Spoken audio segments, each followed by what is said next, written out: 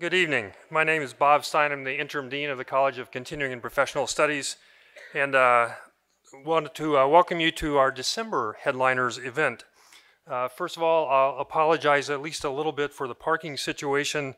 Um, we have no control over that, but we did talk to the parking services here on campus and sort of pled with them to wait till after this evening to, uh, to start their work. Uh, but they have a contract and they needed to get it done. Uh, the nice thing is they're actually uh, putting solar panels out there in the parking lot. And so we'll be reducing our uh, dependence on petroleum products, so that is good. Hey, yes.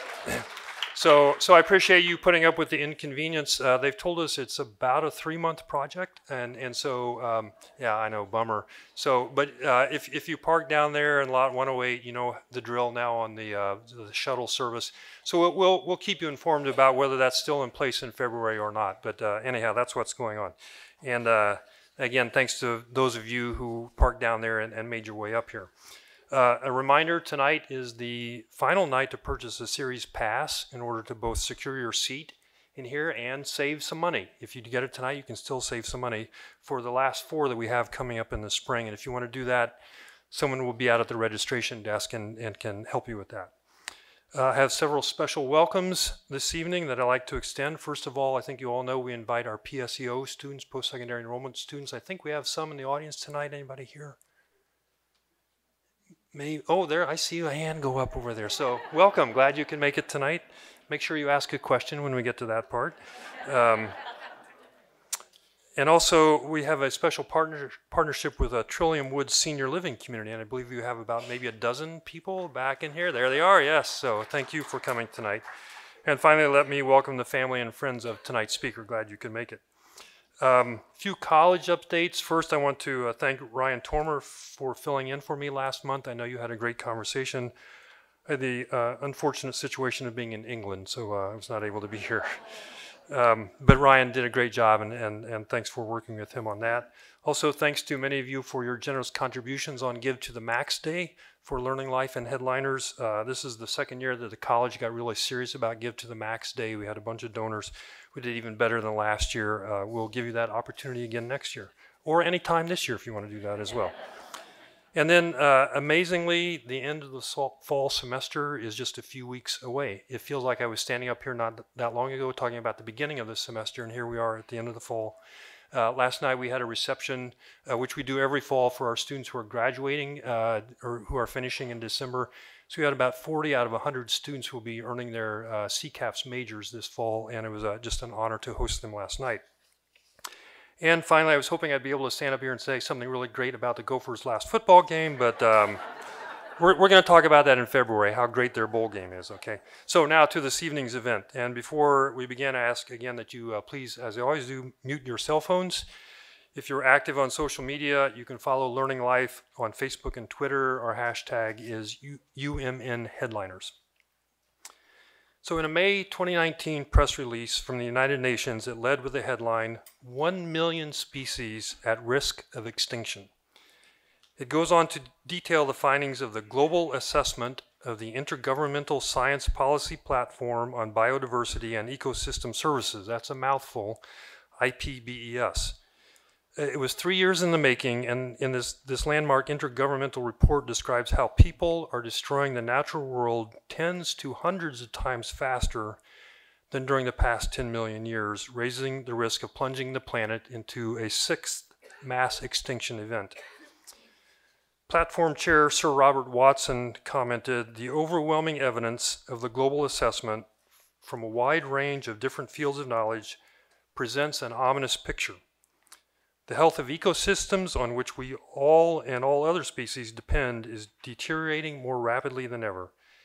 We are eroding the very foundation of our e economies, livelihoods, food security, health, and quality of life worldwide. If you want some nighttime reading, the global assessment is about 1,500 pages long.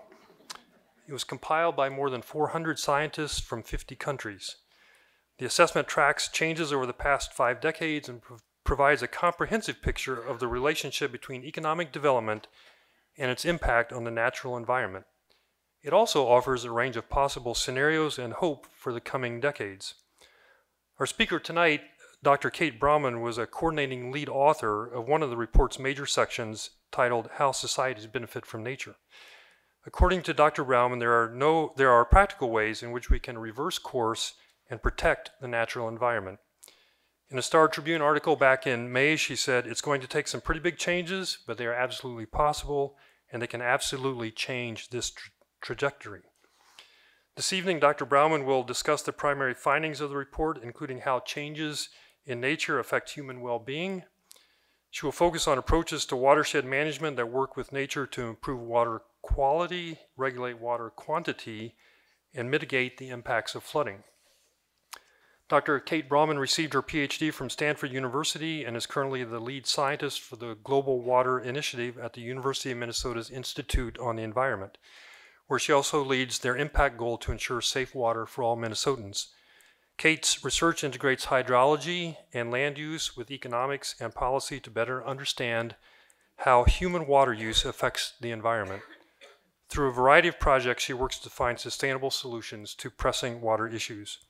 As mentioned previously, she's the coordinating lead author for that big long title report I told you, the global assessment, and has testified about the report's findings to the US, US House of Representatives Committee on Space, Science, and Technology.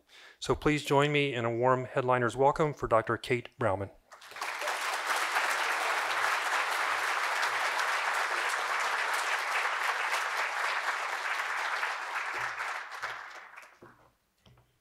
Thank you so much. It is a pleasure to be here tonight. And I promise that what I'm going to talk about is not going to be as dire and depressing as my introduction. but it's true.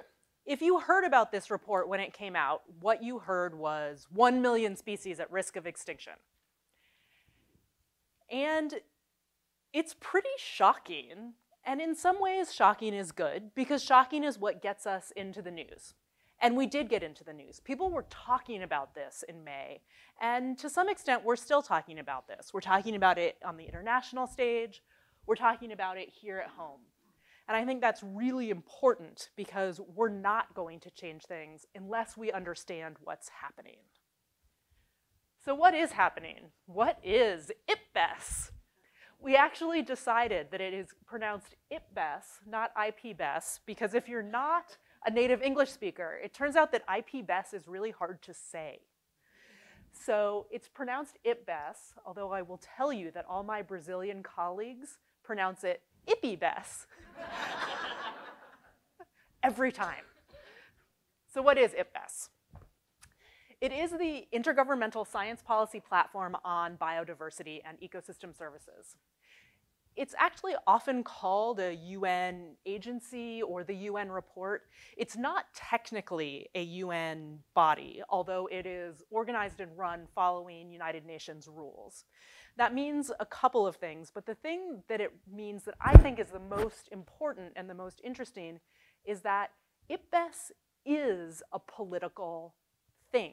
It is a political process in the best possible way because it's a place where 134 member governments come together with their delegates to try to understand what's happening to the environment so that they can make changes and really think about international law and international treaties as a way to try to address this. And one of the things that they do, the major thing that IPBES does, is undertake assessments. And they can undertake assessments of different things. They've done an assessment of pollination, they've done an assessment of land degradation, they did some regional assessments, but IPBES is pretty new. And the, what we just came out with, the global assessment, was the very first global assessment that IPBES has done. So how does that happen? I love that the slide that they made themselves looks like Chutes and Ladders. because yes. But what happens? Well, it starts out with this process of request and scope. And again, I think this is actually great, right? Because this means that there are governments who come together to say, this is what we want to know. This is the information that we need in order to make the decisions and move forward in the ways that we want to. In this particular case, the governments came together and they said, we want an assessment of biodiversity and ecosystem services. Here's what we want in it. There's going to be six chapters. Chapter two is going to cover nature, all of it, everywhere. And nature's contributions to people, all of them, everywhere, over the last 50 years. Go. Oh, wait, wait. And also drivers, the drivers that cause that, all of them, everywhere. That's just chapter two. I was part of chapter two. because then we get into this whole part where there's an expert evaluation, where we actually go to the literature to try to understand well, what is the status of nature and nature's contributions to people and the drivers that affect them? And it's an assessment. We're not doing new research in this case, but really trying to collect, compile, and interpret what is broadly known across the scientific community in order for governments to take that information and understand what it means so that they can make decisions. And because IPBES is run as a UN um, shaped organization, one of the things that's really critical about this is that the experts who are tapped to come together and do this assessment come from countries all over the world. So if you look at this picture of the, the coordinating lead authors who were at the, um, the plenary in May, there's a lot of different colors up there. There are as many women as men up there. there are people from all around the world. There's a lot of different um, clothing choices and costumes, and I think that that is tremendous. And it makes this report better not just because countries are much more willing to buy into products that their own citizens have been part of, although that's certainly true, but because by bringing together the perspective of experts with different training from different places, with different biases, we actually get a much more robust finding. We tap into different kinds of literature because we're using different search terms and we're asking different questions, and we get a better product at the end of the day. Plus, you get to meet really fun people.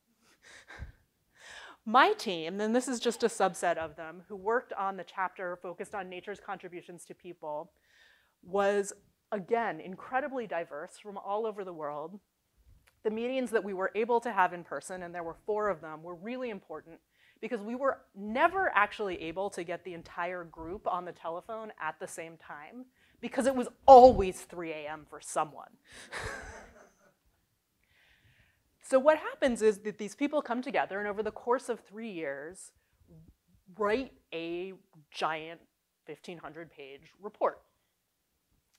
Um, you too can weigh in on what you think about this. It's actually a public process of peer review and commenting. Um, and the authors are actually required to respond to those comments as part of our editing process. And that goes on for a while until we get to the fun part at the end of the Chutes and Ladders, where the document as a whole, but primarily the summary for policymakers, is actually considered and eventually, hopefully, accepted by the country delegates um, so that it can move forward and be used in policymaking. So this is the fun part. This is the part where science and policy actually happens. And this is what it looks like. So this particular conference was held at the UNESCO facility in Paris. I was in Paris for 12 days, entirely in a windowless basement room. It was very sexy. um, and this is what happens. You've got experts up front on the dais talking about what's in the document and delegates from 134 countries who have been working with this document, who are airing their concerns and having debates. I got to sit at the front of the room, and you can see that I'm wearing the headphones because this is a, a UN-like process where different people are speaking in different languages and you get simultaneous translation. It's really impressive translation. Um, and you actually are editing in real time, which is as horrifying and painful as you might imagine. and it's not just the text, we also did this with the figures. And of course, that doesn't always work. If you imagine, as we get to the Q&A portion of this, trying to, to come to consensus in a room like this about what we want to say, sometimes that doesn't happen. So there's a lot of breaks. When we first saw the schedule, we thought, wow, there's a, like a three-hour lunch break. Because this is what you end up doing during your three-hour lunch break. Or this, doing some work in the background, really bringing the pieces together in a collaborative process among the governments where it's the role of the experts not to tell them what the document should say because it is something that's very much owned by the governments, but to ensure that what the government what the document says is factually accurate and accurately represents what's in the assessment itself. So there's this really interesting push and pull between the two pieces. And it was a long process. On the fourth and last day of negotiations, we did not end until 2.30 in the morning. but we did, we finished. And the next morning at the full plenary, the summary for policymakers of the global assessment of the Intergovernmental Science Policy Platform on biodiversity and ecosystem services was accepted. It happened. And as of last week, there's like a beautiful formatted version of it. So if you don't want to read the 1500 page document, you can now download at ipbes.net the very fancy looking, uh, much shorter document of just the summary points. so that's the process, which is important because it's the reason that this matters. But what does it say? Well, it does definitely say that extinction is increasing incredibly rapidly. It's increasing incredibly rapidly for all taxa, for amphibians, mammals, birds, reptiles, fish. It doesn't really matter what you are, there's less of you than there used to be. Except humans, that's true.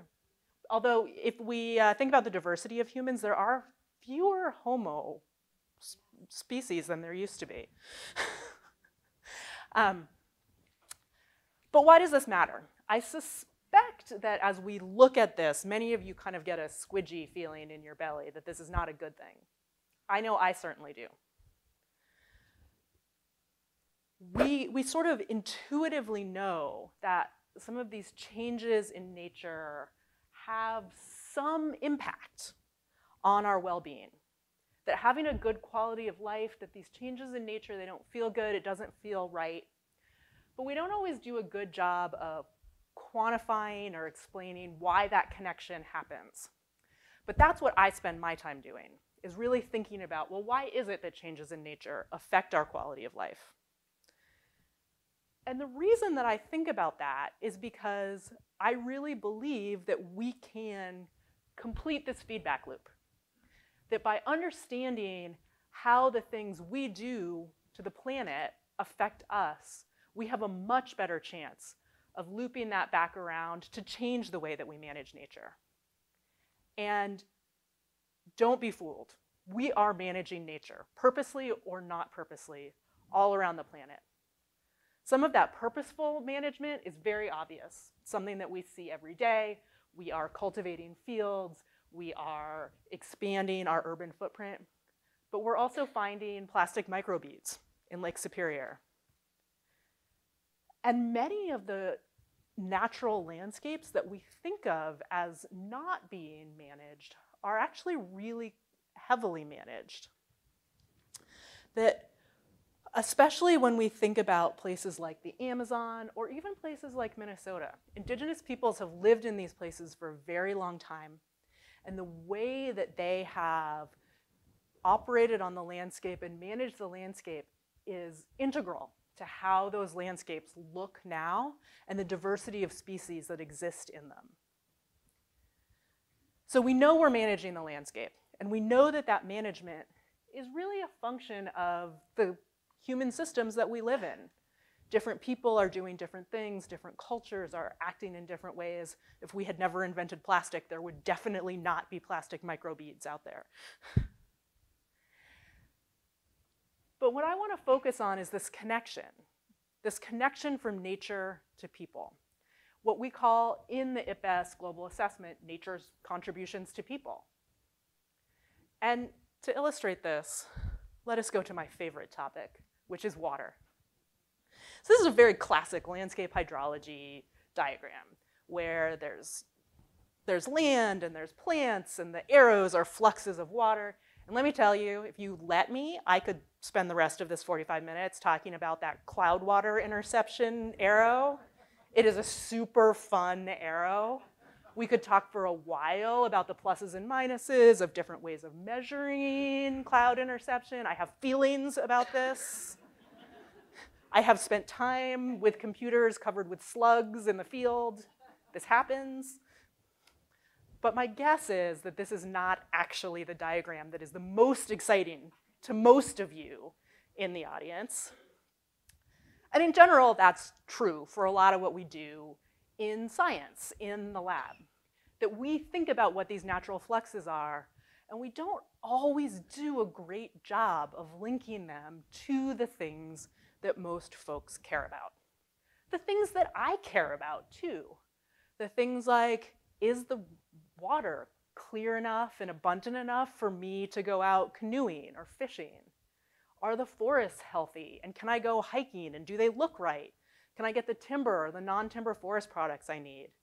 Is the climate changing rapidly? And are there things that we can do about that by managing the landscape? Those are the pieces of this that people tend to really care about.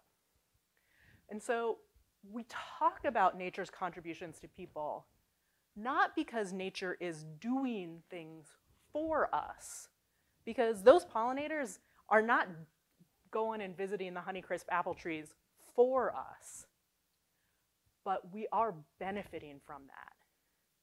And if we lose that connection, if we forget that there are material benefits of nature to us, then we're much less likely to manage it in ways that preserve nature and preserve those benefits to us. So what are those benefits? Well, a lot of them are material. There's a lot of really good stuff that we get from the environment. Food is, is probably the most obvious one. The fish in the ocean, corn, wheat, all of these things are wild, natural, things, pieces of nature that we depend on for our well-being. There are other kinds of things that fall into this category too. Your pets, your houseplants. There's a lot of medicinal, medicinal drugs that are really important that come from nature. So there's all kinds of stuff that we get from the environment. But there's also things that the environment provides for us that aren't material, that aren't things that we take home or build our homes out of. Because the environment, nature really regulates the world around us. The planet is, is surprisingly good at self-regulating. Um, there's a lot of change, it happens very slowly.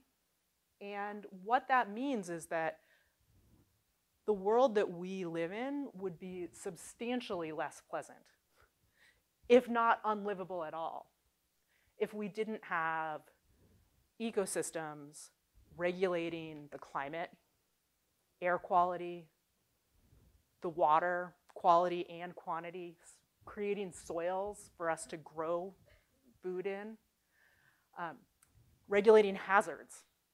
So there's a whole universe of things that are happening and are regulated by the environment around us. The easiest way to think about this, I always find, is to think about um, if you've ever tried to start an aquarium from scratch, it's precarious, to say the least. You gotta get the pH and the oxygen of the water right, or else the fish die, and then the fish poos, and you have to do something with the waste, and then all of a sudden there's like algae all over the glass, and it just goes on and on. And in general, on Earth, that doesn't happen because we've got these functioning regulating systems. And we do need to be careful about them. And there's also this category of squidge. there are a lot of non-material benefits that we get from the environment. And most of us recognize those, but we don't always put a finger or a name or a quantification on them.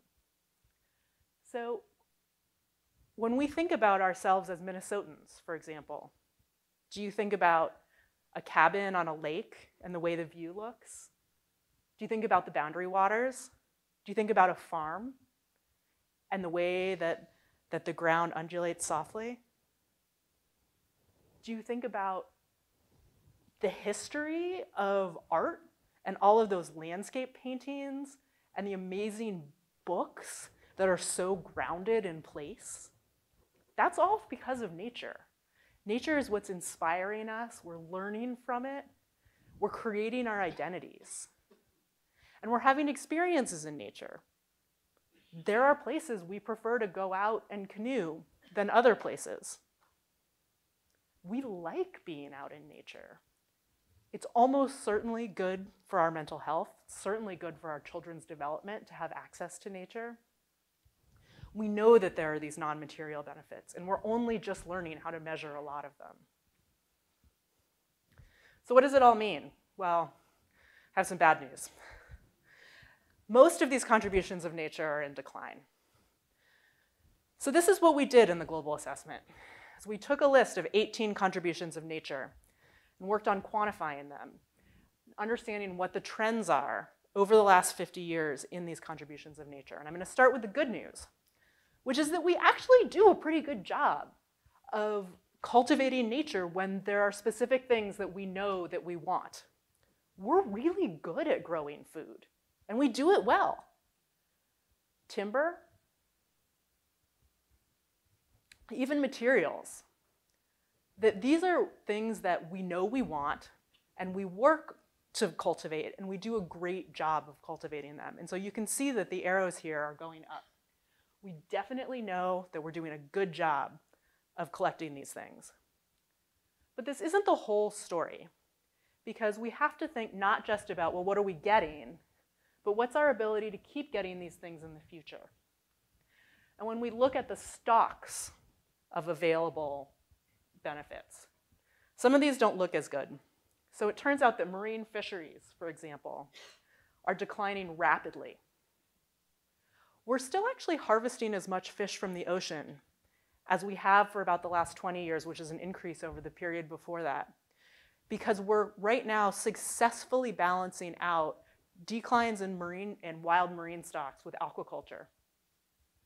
But this bodes really poorly for a lot of the fish species that we particularly like to eat. So the availability of things that we that are usually our preferences, for the cost of those things, and eventually for really who's going to have access, especially when access is subsistence for some people. We're seeing decreases in the extent of forested land, so our ability to continue getting bioenergy which is a primary source of energy for about 22% of the population, is at risk because we're deforesting and taking away those forests. And when we think about specialty products, things like those medicines, we're also seeing declines there. And that's because we're seeing declines in biodiversity as a whole, and because in most cases, when we've discovered new medicines, it's been based on tribal or indigenous knowledge of these properties. If you just go out and start randomly testing things, it's very hard to find medicinal properties. And so we really rely on that knowledge and that tight interweaving of people and nature in order to be able to access this.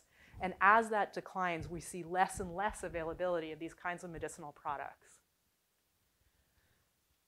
Similarly for our life support systems, we're not doing too well.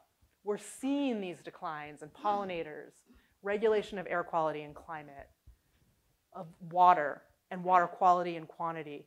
The way that nature is able to be able to regulate these, we're just seeing consistent declines. And all of these are the things that underpin our ability to get over the long term those material goods that we know we really want. So we're going to have a hard time growing food if we're not keeping our soils in good shape.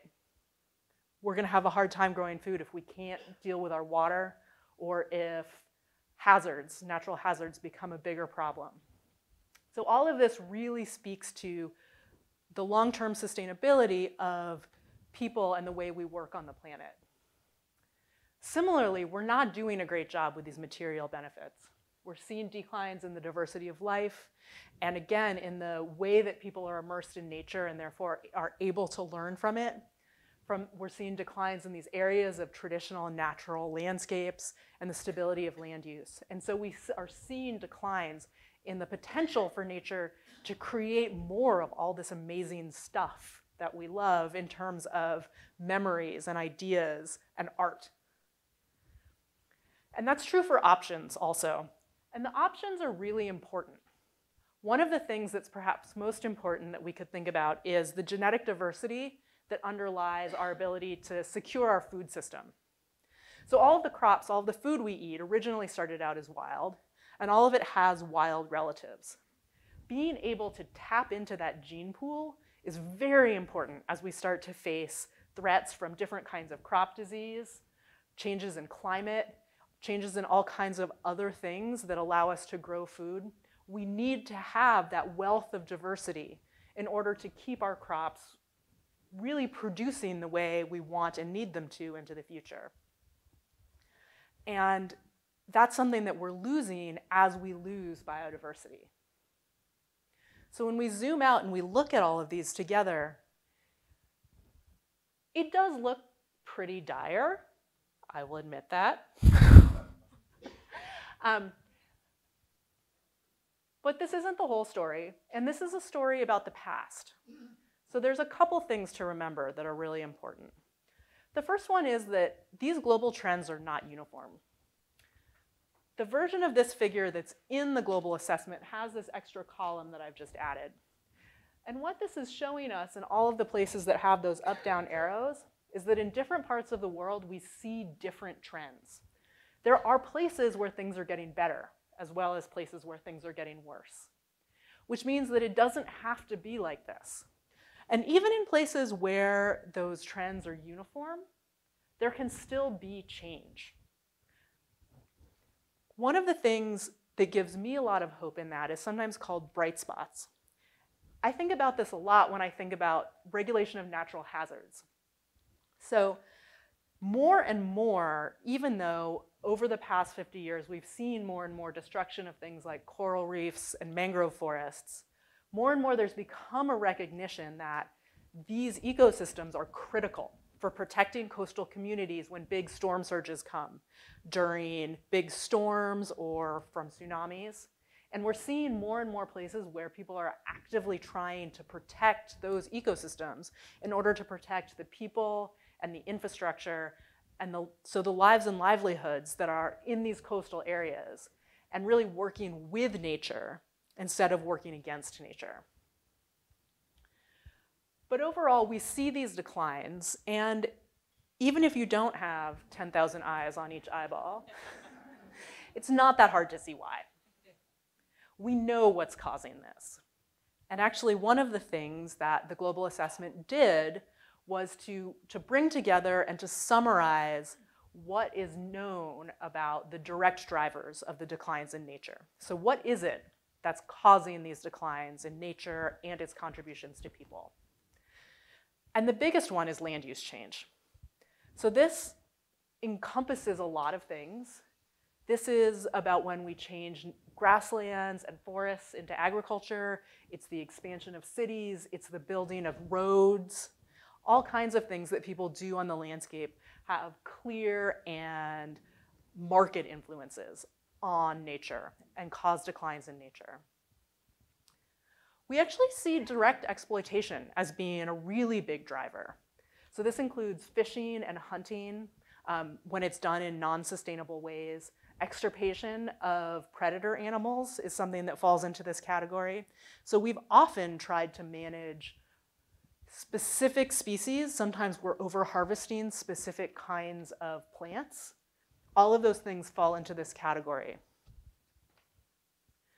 We know that climate change has been a big problem in terms of declines in nature. Right now on this graph, it's not as big a bucket as it will be in the future. And that's because as we look to the past, although we have seen climate changing to date, it has not changed as much as we expect it to change in the future. And a big part of what we expect is that all of these drivers have and will continue to interact. So if we see places, for example, where there's landscape fragmentation and then the climate changes, there may be nowhere it may be more difficult for species to move, for example. And so a lot of these drivers interact with one another. We see pollution on here. So ambient pollution, there's actually um, growing theories that some of the declines in insects as well as in pollinators are related to um, different kinds of pollutants that are ambient in the environment, um, as well as specific things like oil spills um, and toxic mines. So we see all kinds of impacts of pollution on nature. And we do see a signal from in invasive species as well as some other kinds of drivers. And of course, as I said, all of these interact together. So why are all of these things happening? Well, they're happening because we're out there part of the environment. And the actions that we take in the environment aren't all bad. In fact, many of them are good. But many of them have unintended consequences that we're not expecting or managing for. And so things can really go awry. On the plus side, there are lots of ways that we can change the activities that are negative so that they don't have to be. They can be less negative or they might even be positive. Like I was saying, we know there's a long history of indigenous people managing what we think of as pristine landscapes like the Amazon and the Congo, and that in fact those landscapes are more diverse because of the way that people lived in them. So we know that there's a lot of potential. But we also know that the reason that for the most part we're not doing that right now is because of the bigger systems that we're undertaking these kinds of activities in. So to illustrate this, this is a picture from today's New York Times talking about the fires in the Amazon. So you might have heard about this. People have been talking about it a lot. There's been an unprecedented number of fires in the Amazon. People are very concerned about this. The Amazon is burning. And there are lots of conversations about how we're seeing the highest deforestation rate in a decade in the legal Brazilian Amazon. Um, that people are blaming Bolsonaro, who is the new president of Brazil, that he is encouraging this, which is almost, which is true. I mean, he has actively encouraged this. Um, and these are actually brand new numbers coming out of the Brazilian Space Agency, sort of about what this level of deforestation is. And it is the worst in a decade. But it's also important to think about what happened before this decade. So if you think back about what happened a decade ago, in 2008, there was a really big thing that happened in 2008. And that was the global recession. And one of the big byproducts of the global recession is that it substantially reduced demand for the agricultural products, particularly soy and beef, that are the primary drivers of deforestation in the Amazon. So the global economy, in addition to some good laws in Brazil, but let's be honest here, the global economy was a very big driver of that dramatic decrease in deforestation in the last decade. So certainly there are specific things that we need to think about in terms of how we change activities, but we also need to think about a lot of these bigger picture things, what we call indirect drivers. So thinking about what's happening in the economy. What are the drivers of deforestation? Some of you may be thinking very hard about the trade war with China and the changes in soy and where soy is being sold to. Well, it turns out that where soy is getting to China from right now is Brazil. And those supply lines are going to have a really big impact on what happens in the Brazilian Amazon. And we need to think about institutions and governance because it is absolutely true that that change in governance in Brazil played a role in the increase in deforestation this year. Not because Bolsonaro is out there lighting the fires himself, but because he runs a government that says that this is something that's okay to do. And so the institutions and governance that we have play a big role in what happens on the ground and what happens to nature. We need to think about demographics, and we need to think about sociocultural expectations. It is absolutely true that there are more people on the planet than there were 50 years ago. And we need to feed those people. There is a demand for food. We also know that when we look at why the demand for food is increasing at the rate it is, it's largely not driven by changes in population. It's mostly driven in what's often called dietary affluence, which mostly means how much meat you eat. Because if you eat a subsistence, largely vegetarian diet, you actually don't have a very big footprint on the earth. But I have a really big footprint on the earth. And the more of me that there are, the more impact there is on how much food we need to grow. Which is good and bad, because it means that I can do something about it. And we need to think about conflicts and epidemics also. These can be pivotal points in changing the trajectory of how changes to nature unfold in both positive and negative ways. So, what ties all of these together is that they are social values. They are institutions that we have created ourselves which means that we can change them. There are things that we can do about this. The global assessment refers to this as transformational change. And in some ways, it does seem like a really big deal. It is a really big deal. But when we think about what the individual actions might be and also what the governmental actions might be, it doesn't seem quite as crazy. And one of the key levers that the global assessment talks about for making these changes is really talking about unleashing the values and actions that many of us already hold. Because if you, like me, sort of went, whoa, at that species extinction number, that means that it's something we care about.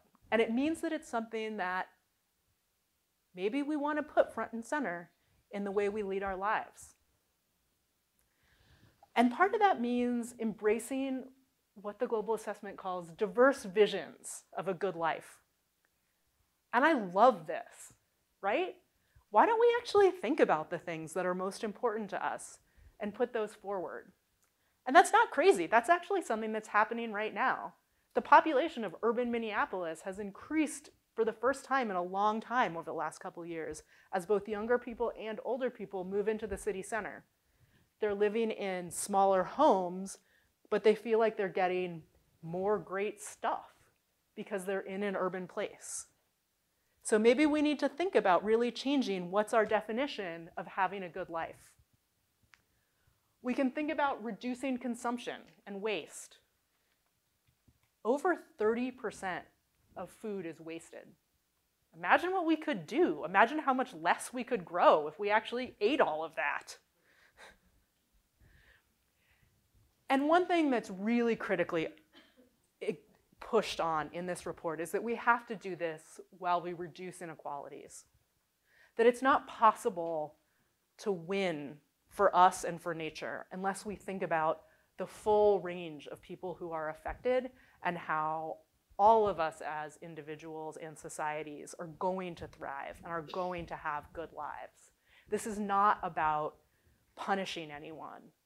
It's about raising everyone up. So there are a few more things that they suggest. They get slightly more technical and involve the word telecouplings. But I'm going to try to put all of this together before I close up. So if we think about all of these drivers, the indirect and direct drivers, that this is what is affecting nature, we can think about all of those things in the green pyramid as leverage points. These are the things we push to change the indirect drivers and to get us to change those direct drivers. The thing about leverage points is you need people to push on them. So there's lots of stuff that we can do as individuals. The report itself focuses quite a lot on things that intergovernmental organizations might think about doing because it is an intergovernmental report. Capacity building, cooperation, preemptive action.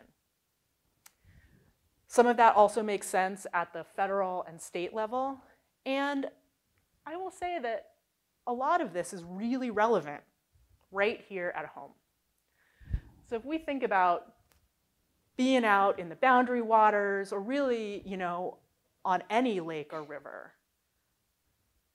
there is, I think, a real and legitimate question of what should we do to manage this? How much money should we spend? Do people really care? Is this something that should be a priority? That's a legitimate question. It turns out that the answer is yes, people do care. One of my colleagues at the Humphrey School, Bonnie Keeler, did a really amazing study showing that people are actually willing to travel further to visit clearer lakes.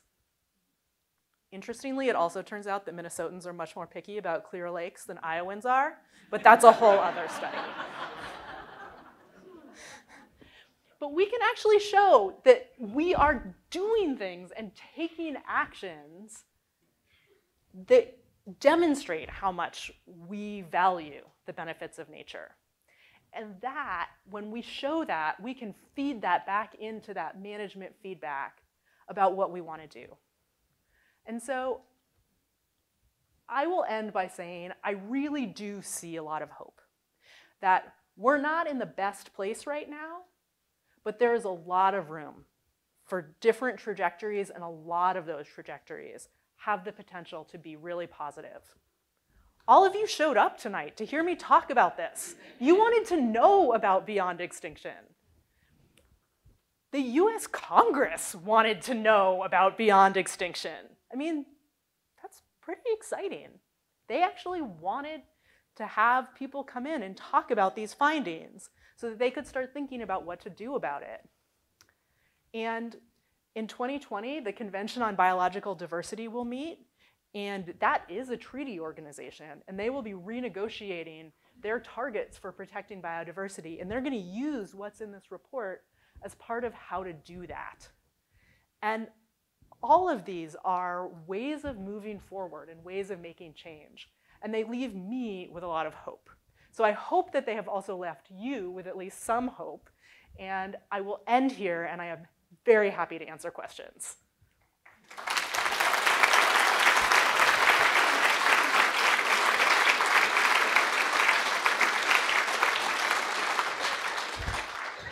Thank you, Kate. It's great to get that perspective all the way from the local to the global. I'm sure there'll be a lot of questions.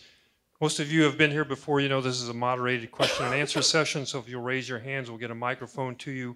Uh, we're actually recording this. We'll uh, end up on a podcast on Radio K in the future, and so when you get a microphone, speak clearly, hold it a couple inches from your mouth, uh, and also, as always, I'll ask you to keep your questions short because we always have lots of questions. So we have one back here already. Here we go, right in the middle. Hi, thank you for that talk. It gave me almost a little bit of hope. so, this is probably a really common question to hit you with. I'm sure you have an answer ready. Um, I, I respect the, the uh, suggestions for things we can do to make things better. Excuse me. But right now, with Bolsonaro in Brazil, excuse me, and you know, here in the United States, they're trying to get water protectors declared domestic terrorists. And um, it's really hard as, as someone who's looking toward, you know, hopefully another 30 years, which isn't a huge time frame. Um, it's really hard to take anything that you were saying and put it into like a useful hope because when I look at the reality on the ground, it's really it's terrifying. And it's not just, it's international and it's all pieces. It's from not being able to control the neonicotinoids all the way to, you know, the, the genocidal movements in in the Amazon right now that Bolsonaro's thugs are doing. So I guess my question to you is, can you address that? Like maybe bridge the pragmatic what what I see going on in the world with your suggestions here, because it feels like it almost feels Pollyanna-ish, you know. And personally, just Well, to we'll, we'll let her answer that question, okay? Okay, That's, that's, okay. A, big, that's a big question. You're not wrong. Um, but I, I will say, I think in all of those cases that the, the story is more nuanced than that. And the nuanced part of the story has a lot of positive pieces to it. So Bolsonaro is now fighting those fires because he was so internationally shamed that he felt like he had to. And while he is still blaming Leonardo DiCaprio for starting some of the fires, um, in fact, he has mobilized the sort of Brazilian equivalent of forest firefighters to get out there and do something about this. And to me, as nasty as he seems in a lot of ways, I also see that the international public saw this happen, raised an uproar, and caused a response. I mean, that's pretty, that says a lot. And I also think it's worth thinking about the full sweep of that graph of deforestation. That it is absolutely worse right now than it has been over the last decade, but it is still at historic lows when you look at the last 50 years. That this is not the end times, that things are bad, and we need to pay attention, because if we don't pay attention, then we don't change them. But that in fact we are making a lot of things happen. And in some ways, I even think that the water protectors have a parallel story to this because 20 years ago, we weren't even talking about this. We were just building pipelines. and we are talking about this right now in a very serious way, in ways that mean that it might not happen. And that, that is why I see a lot of hope. Okay, great. Have one over here on the right side. Hi. You mentioned the intersection of uh, politics and science, and I'm wondering how you deal with that. Um, and I'm thinking back to 1958, 1960, when science was cool and we wanted to put a man on the moon. And now science is um, being attacked and perverted and compromised uh, for economic value by coal mining companies and energy companies and perhaps agribusinesses as well. So have you run into liars and how do you um, deal with them? Um, well, it turns out, first of all, that aerospace is still cool.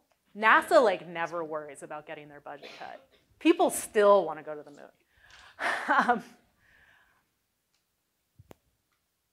yes, we have certainly and very recently come into a different era where people, some people do like to choose their own facts. And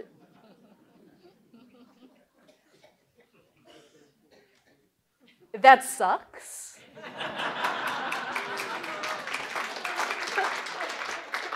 That's wrong. Um, I I sort of have two thoughts about that. One of them is, um,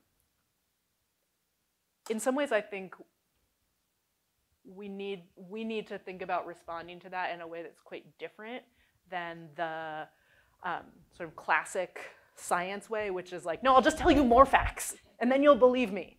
And we actually have great research that shows that doesn't work. um,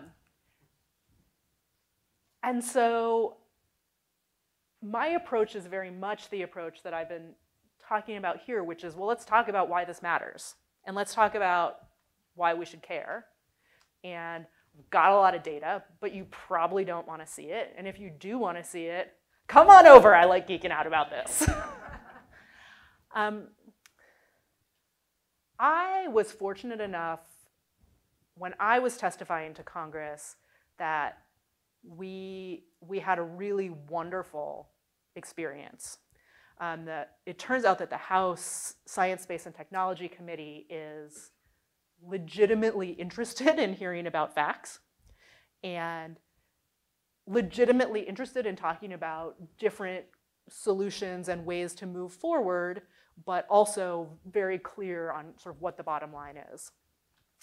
Um, there was a very different situation that happened when some of my colleagues testified for the House Natural Resources Committee, and it was theater.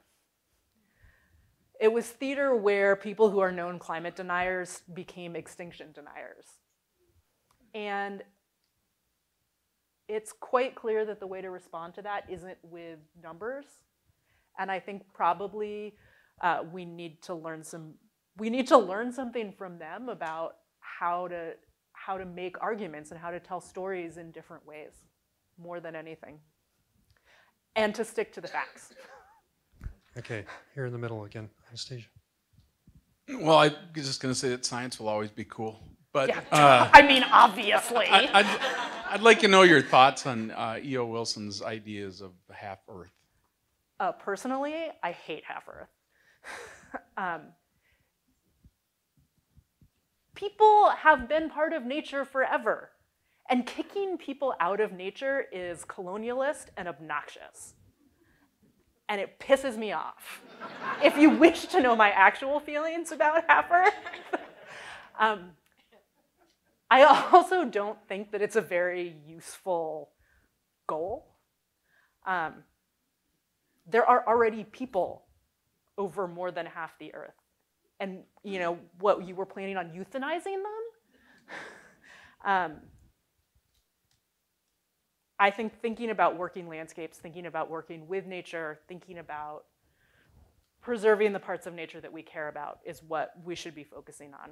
And talking about kicking people out of places that they have lived for a long time is not a good way to go about doing that. Great, I have one right here in front. Um, when people talk about climate change, they often talk about tipping points.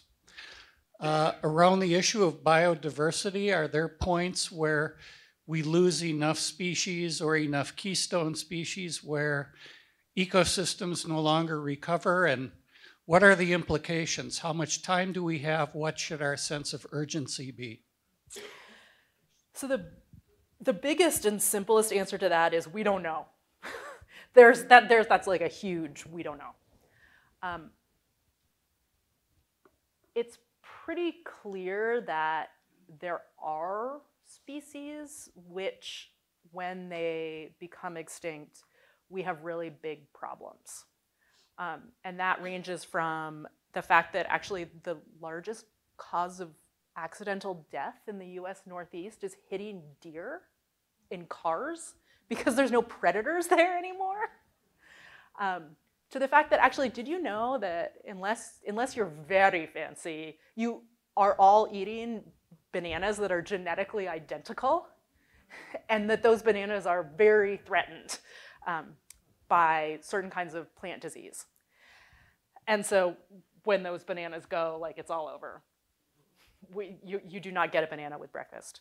None for you. Um, those are not obviously quite as massive of tipping points as you're talking about, but you know, we have indications that these things do happen. Um, and there's been some indications in the past that ecologically they've probably happened. Um, people extirpated the very large herbivores uh, in Europe right after the Ice Age, and there seems to have been a big shift in ecological communities. Um, I I suspect if and when that happens, we as humans will be quite unhappy about it. and therefore, we should probably attempt to avoid it. I also suspect that in terms of nature, and probably even in terms of eventual biodiversity, it will be just fine. The sort of obvious analog being um, the meteors that caused the dinosaurs to go extinct, that really sucked for the dinosaurs. if you were a small mammal or an angiosperm, it was amazing.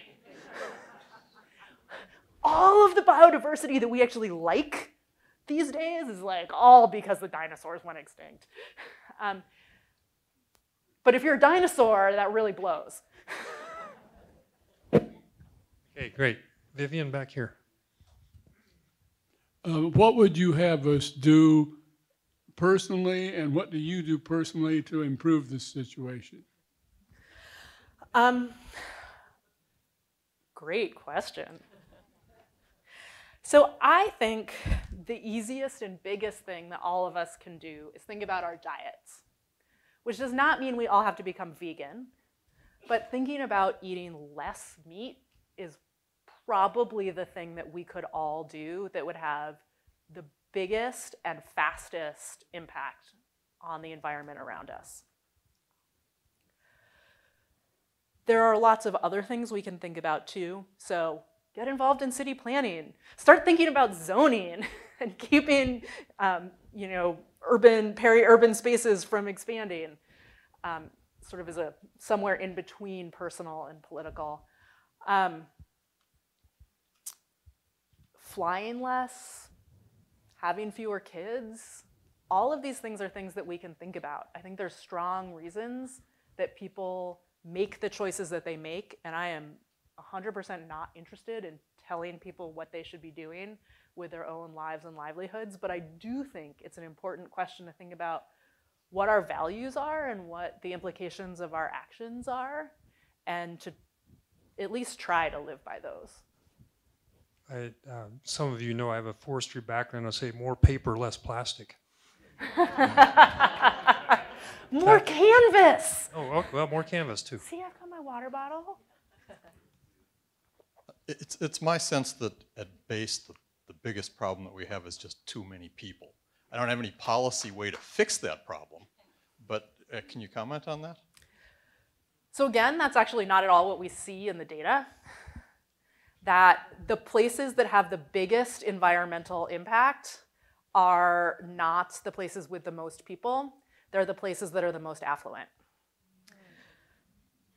So when you look at where populations are rising and where populations are falling, the places where populations are rising are just not the places that have big environmental impacts. It's us. And the reason that the population of the US is growing is because of immigration. It's Denmark. It's all of these places that where we have huge houses, where we have huge energy footprints, where we have diets that involve both eating meat and importing a lot of things from other parts of the country, or other parts of the world. Um,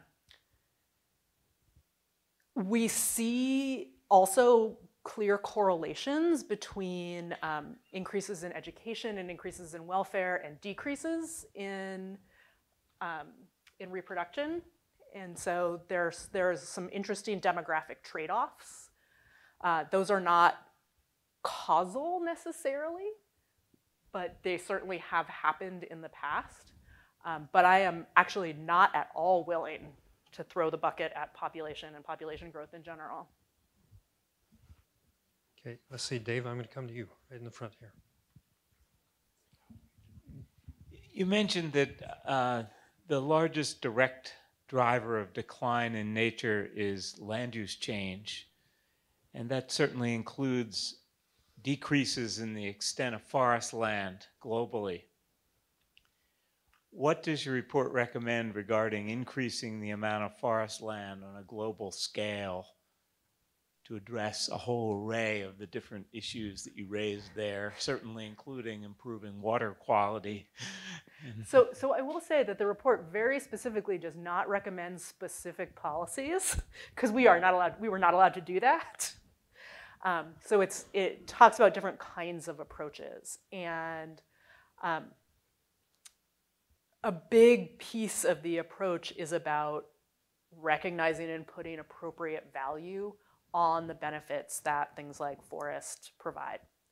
So what we see, even in a place like the Amazon and Amazonian deforestation, is that for the most part, um, it's pretty poor people who are looking for land to expand out into. My general feeling about deforestation, like my feeling about water pollution, is that people aren't doing this for kicks.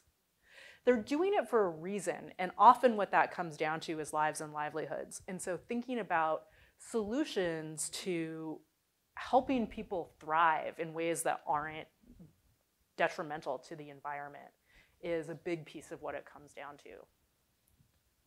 Right here in the middle. Yes, there, uh, I was interested in your comment on the uh, relationship of food production. And I was wondering if you'd gotten into the impact of genetically modified organisms, uh, GMO products, because the wheat, for example, um, it seems to, it was developed to cut down disease susceptibility and all that. But the wheat from Europe seems to be more easily digested with fewer side effects because it's not GMO. And yet some of these products seem to be having an adverse effect on the human population. I've heard people talk about that. I've never actually seen any data that support it, but I've also never spent very much time looking for these kind of data. I would say that in general, we don't have studies that tell us this at this point. What we know, there's actually not very many GMO products out there. I always laugh when I see um, uh, the the um, products that are like GMO free, GMO free spinach. Yeah, that's because there is no GMO spinach. um, it's mostly corn, a little bit of wheat, cotton, and papayas. Um, you're almost certainly eating GMO papayas. Most non GMO papayas have been completely ravaged by papaya disease. Um, I have actually a lot of hope for GMO, and I also think that we need to be thoughtful and careful about it. And that's about the depth of my technical knowledge on the subject. Okay, back. Um, I have a comment and a question. First on the comment, when I was a kid growing up in New Jersey, they harvested shad coming into the Hudson River. And then the shad all went away. But you know what? The shad are back. Um, in large part thanks to Pete Seeger and, and efforts to clean up the Hudson River. So, I mean, to become a cynic and, and, and a fatalist and say there's nothing we can do about it, it's baloney. Lot things we can do. The second, my question is, in the Amazon, you showed high deforestation earlier, and then going down and now coming back. But it's my understanding that in Amazon, that actually the nutrients are really in the plant life, and the soil is cruddy. And so once you deforest it, does the forest really ever come back? Or have we lost that sort of forever or for generations? Um, two points. First, to your first point, yes, you are exactly right. Actually, if you look at trends in air quality and water quality around the world, um, they go in quite different directions in different places, but especially in the developed world where we have things like the Clean Air Act and the Clean Water Act, it's so much better than it was 50 years ago. It's amazing. It turns out that when you tell people you can't pollute and then they stop polluting, things get cleaner. um, so, yes, you're absolutely right. Um, for the Amazon, you're also absolutely right that the soils are, are not very rich soils there. And so there's, it, it actually turns out that they're really bad for growing crops on. Um, in general, which is part of why people keep expanding. Um, there is regeneration of forest, but secondary forest in the Amazon looks quite different than old growth forest, and it takes a very long time to come back. Um, I am not an Amazonian ecologist, but I, I would say that I would be hesitant to say it would never happen. Um, the Amazon, like all ecosystems is in constant flux. Fires occur in the Amazon, trees fall in the Amazon, and that's part of the process by which new vegetation grows up. And so there's, there is always some regeneration. But when you see a large swath deforested, it's going to take a long time. And it's going to take a long time before you start seeing a diverse tree canopy instead of um, a homogeneous tree canopy that you might plant and try to grow up. Okay, over here.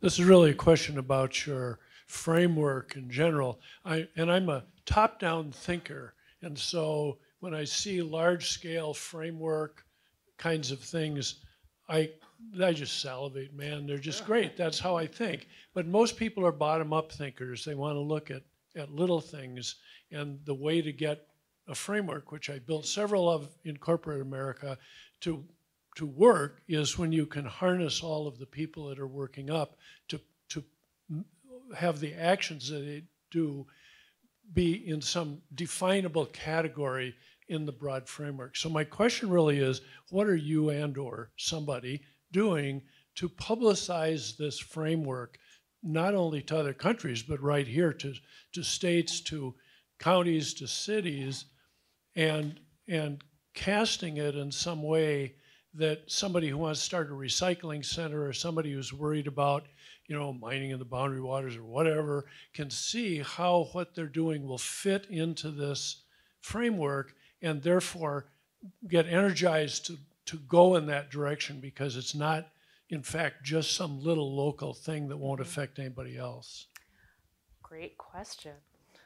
well, um, I, like you, I'm a, I'm a big fan of boxes and arrows. um, I have actually spent a lot of time talking to Minnesota government agencies about this, um, and there's a lot of interest in it, and really trying to kind of get the framework set so that then we can dig down into the specific actions. And part of what I think is actually really valuable about this framework is that it's fundamentally a management framework. It's fundamentally a framework about not about like what is the deep and intrinsic value of a bumblebee. It's, well, if we have one fewer bumblebee because we killed it, how much does that affect us? And if we have 100 fewer bumblebees or 1,000 fewer bumblebees, how much does that matter? And you know, where, where, what do we want to do? Where do we want to be careful? And I think that's something that resonates very much with government agencies. So I have had the opportunity to talk about this with some of them and hope to have the opportunity to continue doing so. So one of the questions is, are they listening or doing anything with the information I mean, you're they, providing? They, they nod along with the talks. So, okay, great. Anastasia, you have one over there? What, was there discussion of regenerative agriculture and in particular the rebuilding of organic matter and carbon in the so agricultural soils? Yes, not as much um, at the the actual plenary and um, and with the delegates themselves, largely because we were moving at warp speed. But there is a lot of discussion in the report itself and in the research that we were drawing on about agrobiodiversity and really thinking about all the benefits that it provides. Okay, Vivian has one back here in the middle. Uh, your graph on extinctions early uh, showed there's always been some extinctions and it really seemed to go up about 100, 150 years ago. So is there any data to show what effect those extinctions have had, good or bad? Or is there basically, has nature just kind of picked up the slack and there's really been no effect? We, so there's data about how it's changed ecosystems we have much, much less data about how it's affected people. And that was actually a big part of what we were working on in the report was to really try to get at um, what's sometimes called the environmentalist paradox, that we see nature declining, but on average, human well-being has definitely been improving over the last 50 years. And a lot of what this comes down to is our ability to substitute to greater or lesser extent for different things that nature provides, although often at pretty big expense, and potentially because we've made a lot of those substitutions using cheap fossil fuels, and we've also done the easy ones already. Um, so, you know, one of the, speaking of, of agriculture, you can grow plants in space. You can grow plants without soil. Um, you know, you can do hydroponic agriculture and it works, but you got to be really careful about it. It's very expensive. And that's certainly not how we're going to produce enough grain for the world, even though it might be how we produce enough lettuce for the world. Um, and those are the kinds of substitutions that I think have to date caused us to not see nearly as much impact of the decline of nature as we are likely to see in the future as those substitutions get harder and more expensive. You have one here? There is a repository north of Sweden, north of uh, Norway, where they're keeping seeds and everything, even from hundreds of years ago. So if there's one type of weed grown in this country and then there's a blight or something, then they could delve into that. My question is, have we had to delve into that repository? And if so, and if so, to me that's an ominous sign. I have no idea. I, I, I believe there's also a repository in Colorado as well that's doing the same thing. There's actually repositories here on campus that do much of that. Um, And, and my sense is like in wheat and some of those, they have delved into that, not because it's a disaster, but they're trying to, as you talked about before, they're sort of trying to get new genes into the pool there and combating diseases and insects and those kind of things. So And, and we've certainly seen a resurgence in general of heirloom varietals where we spent a long time breeding for um, color and hardiness. And now people are like, wait a minute, we liked those ugly things that tasted good. Um, and so, uh, not quite what you're asking, but I mean, I, there's definitely interest in keeping these things up. I don't know the extent to which people have been actually using those resources. Okay, Vivian has one back here. As your assessments get out there and get discussed and plans begin to develop to deal with your assessments, are you getting pushback from people who have a vested interest, probably mostly a financial interest, in not changing things? Because it will mean that they will either make less money or sell less product, or the product they do develop will cost more. Are you getting pushbacks? Not yet, um, at least that I'm aware of, and I suspect that's partly because this is still pretty vague and big picture, and so there's not any, um, people aren't seeing a clear impact. But I will say that even during the, um, the negotiations, one of the things that I thought was really interesting is that figure that had what are the drivers, and one of the drivers is exploitation of direct exploitation of species. And there were a number of country representatives who said, overexploitation is the problem. Exploitation is very important for us. We need to be able to hunt and fish and use our forests for the material goods that our people need for tourism. We don't want to see a report that says exploitation is bad. We're happy to see a report that says overexploitation is bad.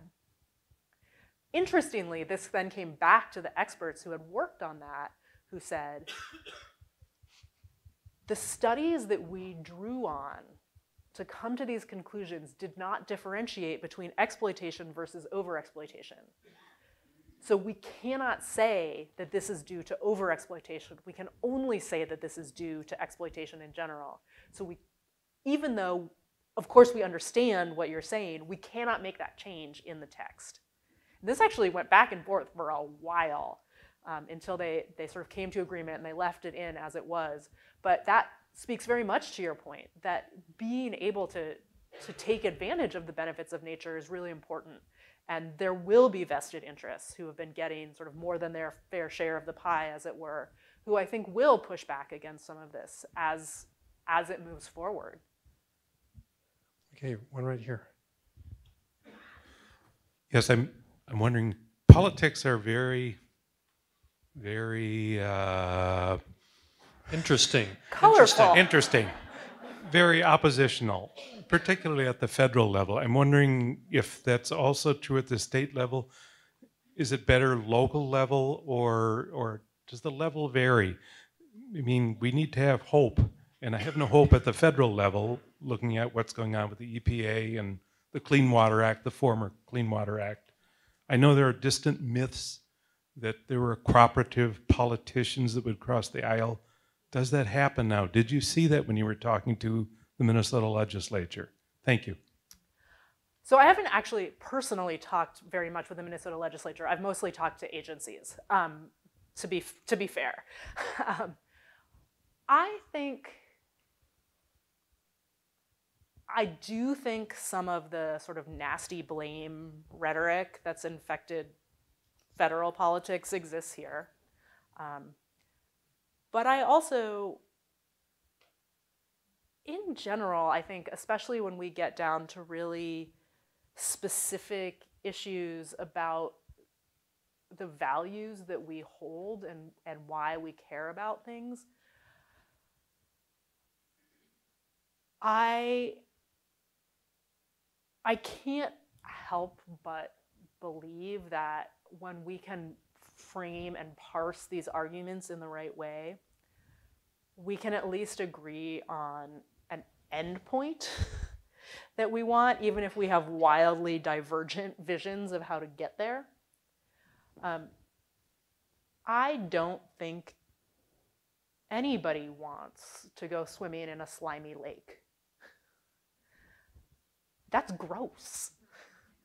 And so, if we can all agree on that, then we can start having a conversation about what the appropriate steps are to think about taking to reduce nutrient pollution and how much we're willing to spend and who has to bear that burden and what we want to do about it. And I do see those conversations happening, although less and less in, in a public sphere because there has been so much politicizing. Um, and I have a lot more hope at the local level because I think there are a lot of these, these landscapes and these places that across the political spectrum, a lot of us care a lot about. Okay, good. Question over here. Thank you.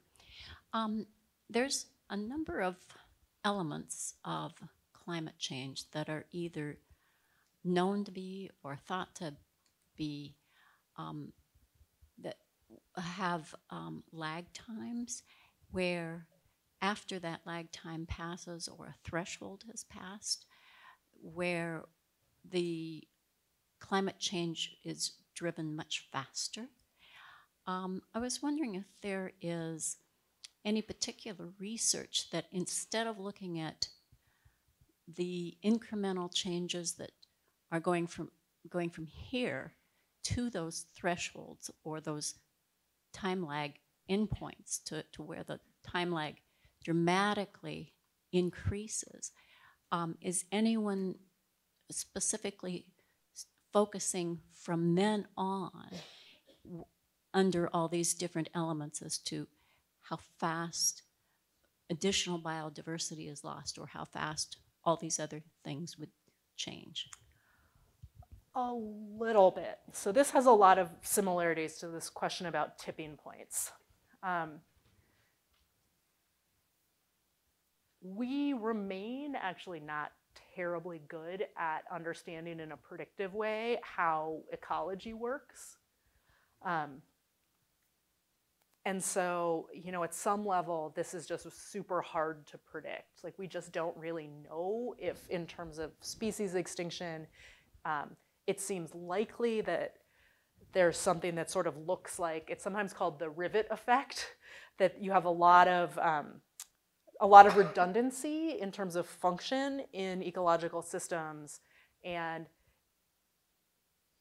theoretically you could have all of the same functionality with only one rivet in place, only one species that was performing that function.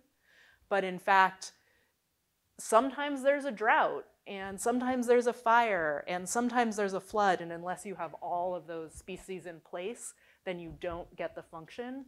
And so there are, there are people who have done sort of mathematical studies that suggesting where that kind of thing happens. But in terms of what, what we know empirically, it's not that good. In terms of the drivers, so thinking about sort of the rate of forcing of that decline, people have done projections into the future that try to incorporate both sort of what do we think the economy is going to look like and what do we think diets are going to look like and what do we think all of these big major drivers are going to look like into the future that, that are going to cause land use change, um, that might cause pollution, that are going to include climate change. And so what are the, how is that going to affect the environment? That we see more and more of. And that's also something where um, when we get a when we get a long way out, it's not exactly predictive. So usually people talk about scenarios, and they always give them cute names. Well, they give them really technical names, SSP one, and then they give them really cute names like the eco garden scenario. um, so that that does exist, but I would say none of it's very little of it is actually predictive. Um, it is more scenario driven. Okay, great. So I, I have, I'm going to have one last question for you, but uh, before we do that, just let me talk a little bit about um, what's coming up. First of all, again, thanks to all, all of you being here. Um, many of you know last year we set records for attendance at headliners. We're well on our way to breaking that record this year, so thanks for coming. Uh, as a reminder, there is no headliners in January, so on that really cold Thursday night, you can just stay home and enjoy that. Uh, but we do have a really fascinating talk coming up on February 6th speaker, Dr. Michael uh, Georgieff. He's from the Department of Pediatrics here on campus. Uh, he'll discuss what's on baby's mind, the developmental origins of mental health and disease. And I've heard him in the past, and I strongly encourage you to come. It's a fascinating talk. He's talking about infants and what's going on, in they're figuring out if they can predict things like autism at a very young age. So I'd encourage you, if you have uh, family or friends with infants, you might want to invite them to that talk because I think they'll be fascinated. So uh, please do that. Uh, remember, you can buy still a season ticket, save some money, and uh, do that. Someone's willing to help you. And before my last question, just so you don't all get up and go, the uh, for those of you who parked down in lot 108 and you want a bus ride back, the buses will, will be picking up out here in the U Drive, and they'll be doing that till 9:30, so you'll have plenty of time to get back. If you want to walk, you can do that as well and we'll keep you posted about sort of the parking situation as we get to February. So here's my last question for you. You, you mentioned before about the, uh, the report is now out. There's a summary, beautiful, all that. What's next for both you and the whole group of people who are working on this report? Well, I have to say, I really hope that there's going to be a second global assessment because it's going to be so much better than this one. We spent a lot of time making those boxes and arrows and figuring out how we were going to organize things. So man, by the time we do the second assessment, it's going to be fabulous. Okay, sounds great. So please join me in thanking Dr. Brauman for being here tonight.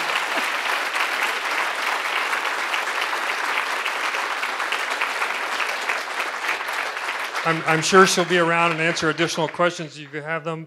Uh, drive carefully. Have a wonderful holiday season, and we'll see you in February.